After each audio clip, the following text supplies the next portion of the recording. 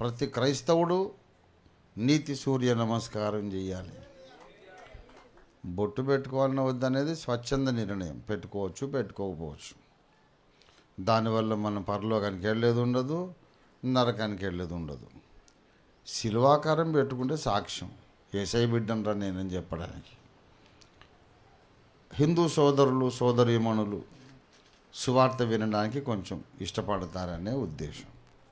పెట్టుకున్నది చంద్రవంక నక్షత్రం పెట్టుకోండి అని అంటే బాధపడాలి. నొసల మీద సైకిల్ గుర్తేసుకోండి అంటే భయపడాలి బాధపడాలి. లేకుంటే సుత్తి కొడవల నక్షత్రం. అట్లాంటిది ఏమన్నా పెట్టుకుంటే బాధపడాలి. సిలువ సిలువ అంటే మనకు అతిశయ కారణం. మన పాపిష్టి బతుకులకు ఏమన్నా కాస్త విలువ వచ్చిందంటే సిలువ చేయబట్టి వచ్చింది. దేవునికి స్తోత్రం కలిగింది కాక ప్రపంచ చరిత్రలో సిలువే లేకపోతే మన పరిస్థితి ఏంటండి అసలు? చెప్పండి. అసలు నిల్వ నీడ ఉందా? మనకి ఏమైనా అసలు సొసైటీలో స్థానం ఉందా?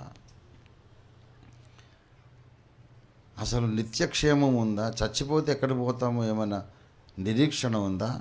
ఏం లేదు నిరీక్షణ లేదు. ఇప్పటి లోకంలో కానీ రాబోయే లోకంలో కానీ మనకు నిరీక్షణ లేదు. మనకున్న నిరీక్షణ ఆధారము మనకుండే క్షేమము అన్నీ కూడా సిలువని చేయబట్టి ఆ ఒక్క సిలువ చేయబట్టి. సగర్వంగా చెప్పుకోవాలి? గేట్ మీద ఇంటి మీద సిలువ పెట్టుకున్నప్పుడేమో సంతోషిస్తున్నాం చాలా పెద్ద జోక్ ఏంటి తెలుసా? వీళ్ళందరూ జోకర్లు. నేను చిన్న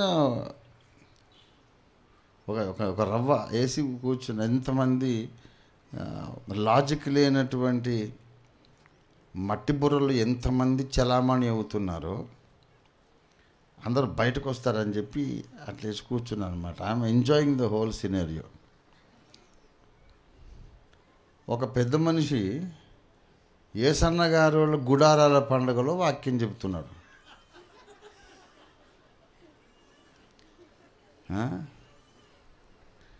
ఏసన్న గారి గుడారాల పండుగలో ఇప్పుడు రీసెంట్గా వాక్యం చెప్పుకుంటా ఏంద్రా సిలువ? నెత్తి మీద సిలువ? మీ అయ్య మీద సిలువ? మేము గోడ మీద సిలువ?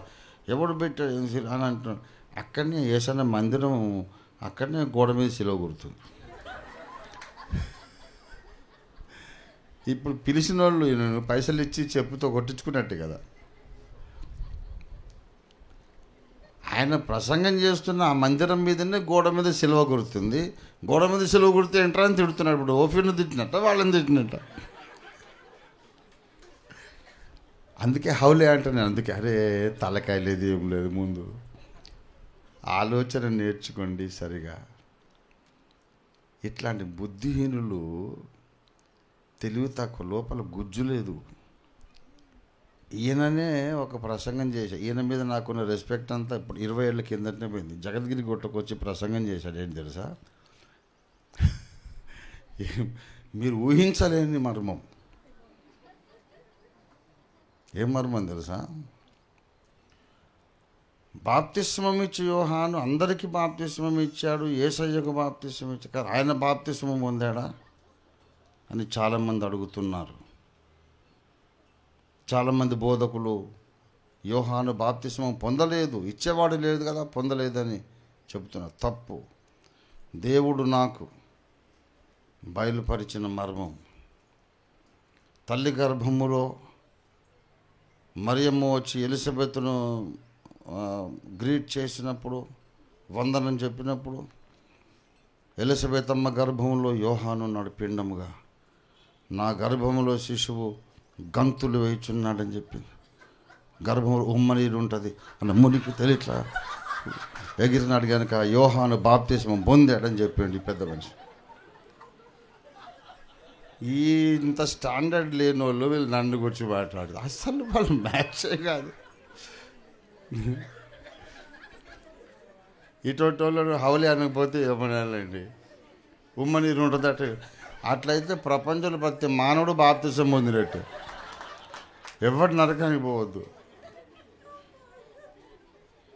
వీళ్ళు నన్ను గురించి కామెంట్ చేయ అసలు నాకు ఆశ్చర్యం అనిపిస్తుంది. వాళ్ళకి ఎంత కాన్ఫిడెన్స్ నన్ను గురించి మాట్లాడడానికి. ఓఫీర్ని ఏదో అనాలి అనాలని ఒక యావ ఒక ఆత్రంతో సిలువ గుర్తు గోడ మీద ఉన్న మందిరంలో ఉండి ఏంది నా గోడ మీద సిలువ ఏందని నన్ను తిడుతున్నాడు అనుకొని పిలిచిన వాళ్ళని తిట్టాడు. ఇప్పుడు చచ్చినట్టు తిట్టినందుకైనా వాళ్ళు కానికిచ్చి పంపించాలి so I congratulate them for తిట్టించింగ్ your self. చాలా సంతోషం. దేవునికి స్తోత్రం. హల్లెలుయా ఇంకా చూడండి నేను మీకు చెప్తున్నా మీకు బోర్ రాదు. నేను ఇంకా చాలా సర్ప్రైజెస్ ఇస్తాను మీకు. I will keep you entertained and engaged ఓఫీర్ గారు ఏదో చేస్తాడు. అందరికి భయం పట్టుకున్నది. ఇంకో ఇంకోటి ఆ పెద్ద మనిషి చెప్తున్నాడు వాళ్ళ సంఘంలో చాలామంది వచ్చాయని అడుగుతున్నారట. ఓఫీర్ గారంత పెద్ద మనిషే బొట్టు పెట్టుకోమని చెప్పినప్పుడు మరి మీరెందుకు పెట్టుకోవట్లేదు మమ్మల్ని ఎందుకు పెట్టుకోనివ్వట్లేదని ఆయనకు బాగా ప్రెషర్ వచ్చింది వాళ్ళ సంఘంలో. ఆ ప్రెషర్ అంతా పట్టుకొచ్చి హోసన్న మందిరంలో తిడుతున్నాడు. అంటే అర్థం ఏంటంటే నాయకులు ఒక పది పదిహేను మంది మనకు వ్యతిరేకమైన నాయకులు ఒక పది పదిహేను మంది మనకు వ్యతిరేకమైన సామాన్య విశ్వాసులు అధిక సంఖ్యాకులు యథార్థంగా అయ్యగారు చెప్పేది కరెక్ట్ ఉన్నది వీళ్ళే అంత గార్ధవ పుత్రులు. అంటే తెలుగులో తిడితే ఏదైనా అమర్యాదగా ఉంటుంది. తెలుగులో అంటే గాడిద కొడుక అన్నట్టు. అయితే గొప్పోళ్ళని తిట్టేటప్పుడు సంస్కృతంలో తిట్టాలి. గార్ధప పుత్ర అని తిట్టారు ఈ గార్ధప పుత్రులు ఓఫీర్ గారిని అన్యాయంగా తిడుతున్నారు కానీ అసలు ఆయన చెప్పింది రీజనబుల్ కదా అని అనుకుంటున్నారు. క్రాస్ కల్చరల్ ఇవాంజలిజం చేయకూడదు. సువార్త ఎప్పుడు ఏ దేశానికి పోయినా ఆ లోకల్ కల్చర్తో బ్లెండ్ అయితేనే సువార్త ముందుకెళ్తుంది అని నమ్మినటువంటి మహానుభావులు మేధావులు ఉన్నారు. వీళ్ళకేం తెలియదు. చాలా సంతోషం. వయసులో బాగా పండిపోయిన వాళ్ళు కూడా ఇట్లాంటి హౌల ప్రసంగాలు చేస్తున్నారు. ఆ- చర్చ్ మీద సెలువు ఉంది గోడ మీద సెలువు ఉంది గోడ మీద సెలువు ఏంటి పెట్టుకున్నారు ఆ బుద్ధిహీనులు అని తిడుతున్నాడు ఆయన.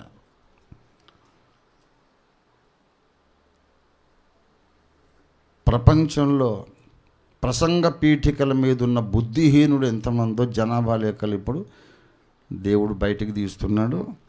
అందులో బుద్ధిమంతులందరూ కూడా బయటకు వస్తారు. సత్యము నమ్మిన వాళ్ళందరూ తప్పక ఓఫిర్ మినిస్ట్రీస్ పక్షం అవుతారు.